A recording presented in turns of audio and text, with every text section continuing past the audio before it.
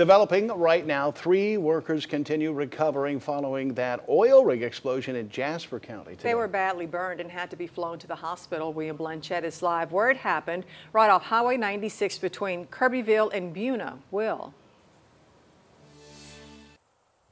Well, guys, right now we're off of uh, County Road 607 right next to Highway 96. Crews have allowed workers back into the rig.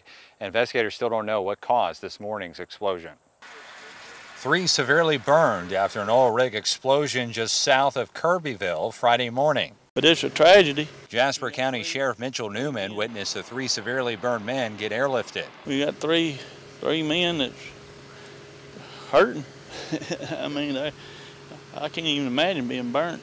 Jasper County Emergency Management Coordinator Billy Ted Smith says the explosion happened at an oil rig owned by Jeffco Production, a company based in Spurger. Records from the Texas Railroad Commission show the rig operates at a depth of more than 9,000 feet. Sheriff Newman says they don't have a cause yet, but another worker for the company told us off camera that the pump on the oil rig malfunctioned, causing it to explode.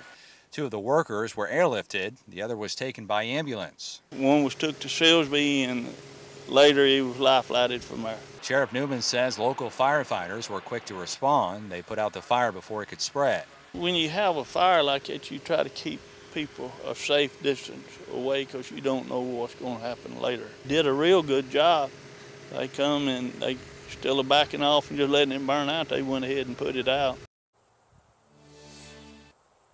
Now again, uh, workers are, have been allowed into the oil rig. We did reach out to Jeffcoat production company to learn more about what happened and once we hear from them, we'll make sure to update you. We're live in Jasper. William Blanchette, 12 News.